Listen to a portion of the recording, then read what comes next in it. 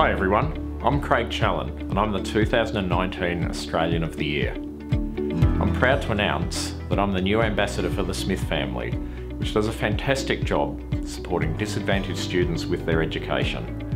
We have over a million children and young people in Australia living below the poverty line today.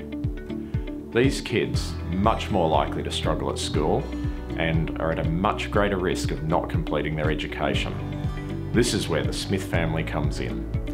Their sponsorship program helps kids to break the cycle of poverty by providing long-term support for their education. Australia needs to take action against child poverty. You can help too by making a donation to the Smith family or sponsoring a child. Visit thesmithfamily.com.au.